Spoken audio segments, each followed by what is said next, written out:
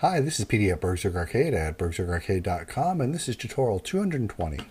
In our last tutorial we went over the basics of a particle system, at least a brief explanation of what all the elements are in a particle system. Uh, this time around we're actually going to make that gate uh, portal particle, particle system. So I'm going to go ahead just add a particle system to our scene like we did last time. As you see we have the exact same three components added. And I'm just going to zoom a little bit in on it. Whoops a little too much. Okay, and the first thing I want to do is kind of get the shape of my portal. And I want it to be thin. So if we go and look at it at the side now, it's, it's pretty thin. And I'm actually going to turn it a bit. I want it to be facing this way a bit more. And I want to move it down. Uh, down a bit more. Not too much though. So about there is where I want it to positioned. And I'm going to go ahead and come down to the particle renderer. And I'll turn off cast shadows, receive shadows. I'm going to switch it over to a stretched. And then I'm going to change the le length scale to 1. And we'll do velocity scale of 2. And I think that's all we're going to do here. We're not going to play around with the UV animations. I'm going to close that up. I'm going to come back up to the ellipsoid particle emitter and I'm going to add a angular velocity uh, let's say 100 and a tangent velocity on the I guess we'll do the Z of 0.1 so as you can see we have it, all these things shooting out from the center. And if we just take a look here zoom in. That looks pretty good uh, what I'm going to do now is come down to my particle animator and I want to adjust the local rotation scale. And I'm going to do it on Z and I'll just start off with a 1 and as you can see now they're spinning. Uh, I'm going to come back up to my ellipsoid particle emitter and I'm going to change the size. I want them a bit bigger but not too much bigger. Uh, let's go 0.25 and I want them to stay the same size. That's a bit better. I do want them to grow. So let's come down. I believe that was particle renderer. Uh, actually, it was particle animator. And grow size, uh, I'm going to say 0.5 to kind of fill in some of this emptiness. And let's also change the min emitter range to 1 to make the center a little less populated. That's starting to get what I want. Uh, I'm going to increase the size a bit more, let's say 0.5. I don't want them too big. And of course, this could drastically change according to uh, the texture that you're actually using. I'm just using the default materials you can see down here. At the very end, we'll play around with materials and see you know, how they work. Uh, but if I actually go into game, I'm going to leave it running. If I go into game right now and take a look, uh, you know, it's just this white wisp thing here. So let's add some color. Um, see, on the outside, I know I'm going to want uh, a fairly bright color.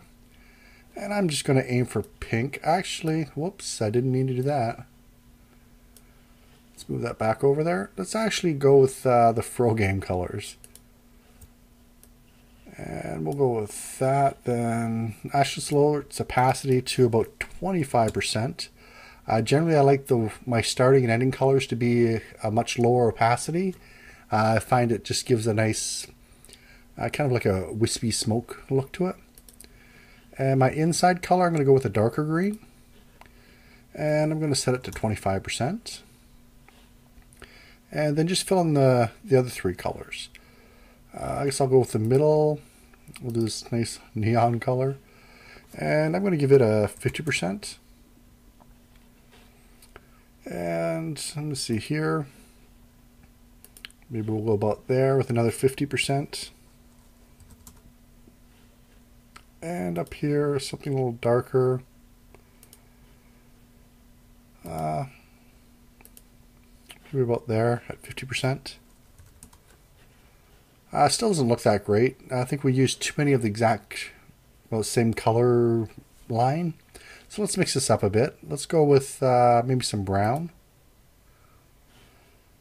And again, I'm actually going to lower it to 25%. I actually really want a wispy look to it. And of course, you know, you probably want to change these according to, you know, the feel that you're going for. And for some reason, I just want the color pink in there. So let's go start that up and take a look to see how it looks in game.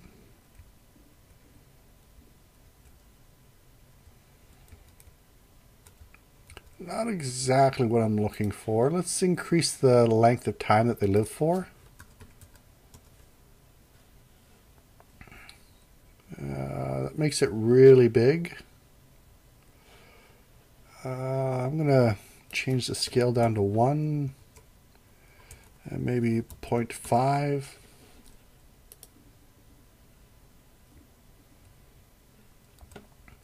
So we'll give it a second to go. And it's very bright. It's like a big hollow ring right now. So let's let, let it run. Uh, maybe my min emitter range I might want to bring back down. And possibly some darker colors.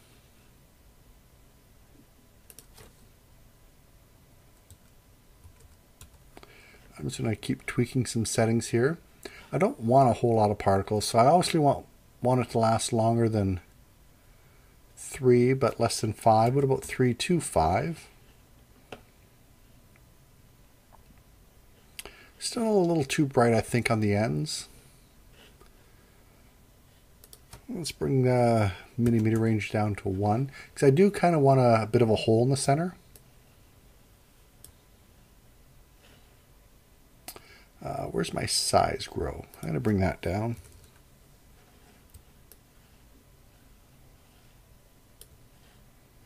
Uh, I want a bit more than that. I might just actually increase my particles. Well, let's go up to 100.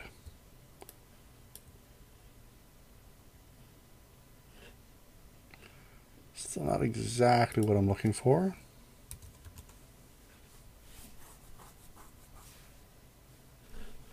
I think that's a little bit closer to what I want. I might have to change the colors as these colors don't really seem to be working well together.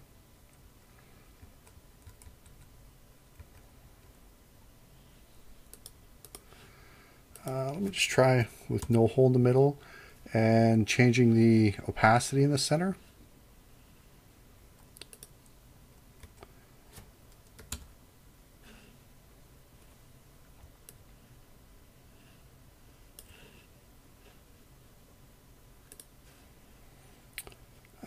Let's change the colors up a bit.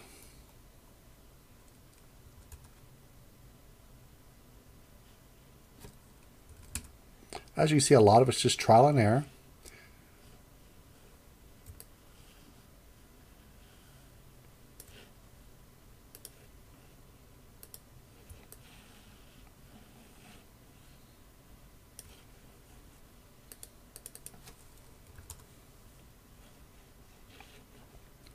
Apparently this lime green just isn't working. Let's go with the blue.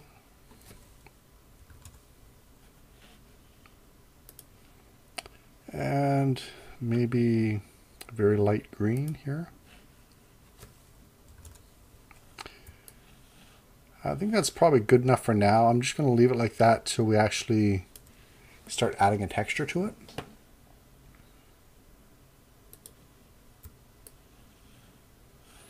Might help if I look at it this way, because when I'm looking at it this way, it's pretty much just the sky behind it.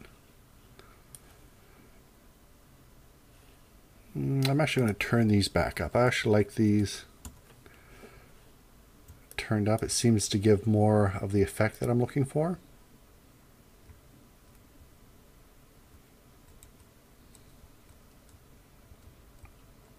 I'm going to have to change the, the size that they're growing at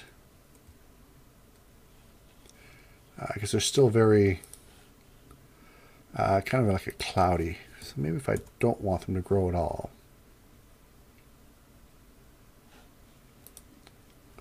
That seems to be a bit better.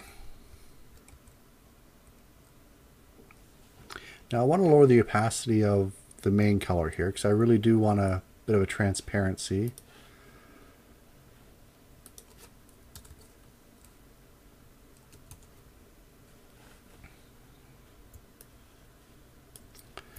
I think that's pretty close to what I am looking for.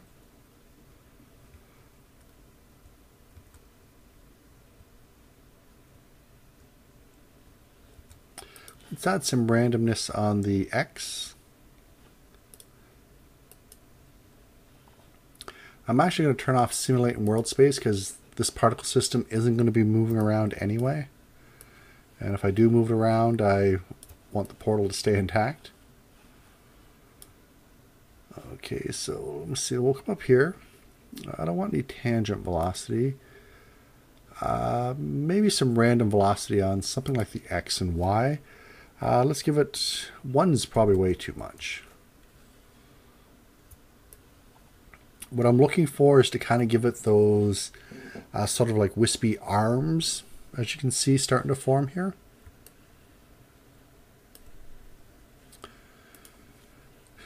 And it's kind of hard to actually see in in the uh, editor because uh, you get all the outlines of the particle system. So I think that actually looks pretty good to what I want. I just want it to be smaller. So we can change a few of the options here. Uh, mostly down here. Let's just try a 1 down here.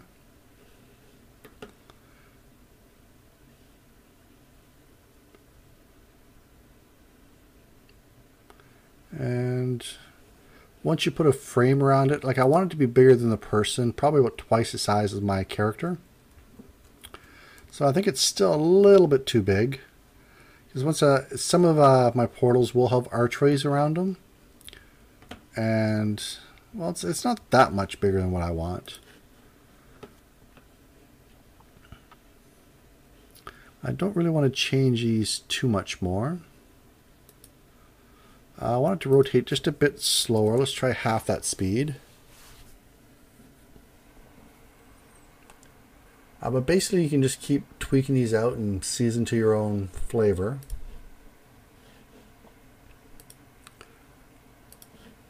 Uh, maybe if I go up a bit in speed. I'll just keep letting it run as some people might be interested.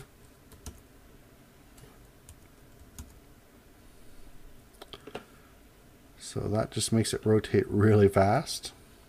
Let's see how that actually looks in game. Is it too fast? It does kind of cause that ball in the center, but that's, that's fine. I actually think I might have the opacity down a little bit too low on some of these. I kind of want a defined edge on the outside. Uh, but let's go ahead and take a look at the material. So let me see, open this up. Uh, by default, you just have the built-in default particle one.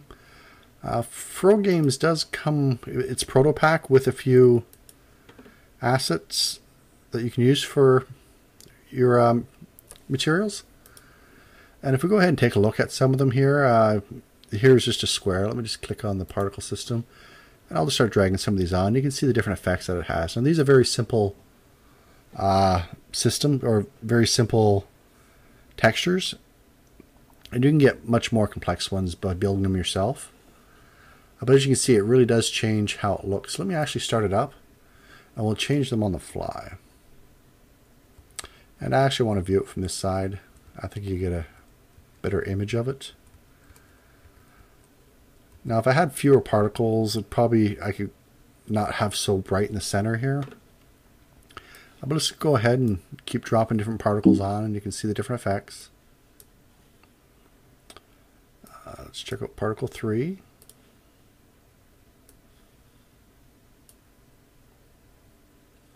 Particle 4.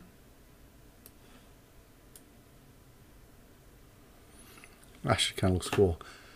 Now I have gone ahead and used the exact same methods that we have already and made a different particle system uh, for my portal. I'm just going to drag and drop that onto the scene here.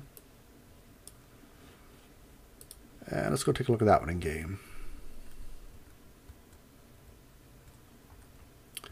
Uh, so there it is right there. It's pretty much the exact same thing except I have a different part, uh, different material for it. Now, one thing I do know that I am going to want to add, let me get rid of the one that I made earlier. And we'll select the current one. Uh, one thing I do know I want to add to it is a collider. And I'm just going to go with the box collider. And I'm going to want to shape this box collider to fit uh, pretty snugly around my portal system. And the reason why I'm adding a collider is because when the player enters this portal, I want to be able to use the on trigger enter event to send the player to where they're supposed to go, like where the portal is supposed to send them. So let me just open this up. I'm actually just going to center it. And then just start scaling on the axes that need to be scaled. So I'll just start off on Z, bring it right in. And I actually want it inside the portal on the Z. I want it very thin. I want the person to actually have to enter the portal before they're shot somewhere. And then on X and Y, it should be the same size since it is uh, round. Uh, three looks actually about good. Maybe four. Uh, again, if you have a frame going around it, some sort of archway or something, you'd probably want this to fill the archway. And I want to turn the is trigger on. Uh, so that way the player can't actually see it, but when they we get around to adding a script to it, when they enter it, you can capture that on trigger enter. Uh, so that's pretty much it. I'm going to keep tweaking my little settings here and I get it to the way I like. Um, once you have your basic portal system done, uh, well, at least the, the particle effect for it, uh, go ahead and make a video of it and upload it to as a response to this video so everyone else can see exactly uh, what everyone else's portals are going to look like. I think it'll be kind of interesting to see what everyone else is doing. But anyway, uh, thank you for listening, and I'll see you in the next tutorial. Bye-bye.